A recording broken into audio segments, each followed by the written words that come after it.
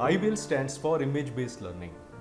Do you know that image based questions comprise almost 30% of all MCQs in NEET PG and INI Cracking those image based questions takes you closer to your goal of qualifying and cracking the entrance exam.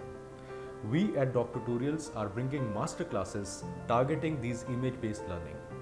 There will be offline sessions, one day sessions across 17 cities from Kashmir to Kerala where we'll be discussing all the past images, all the likely future images and related high yielding topics in a never before discussed manner.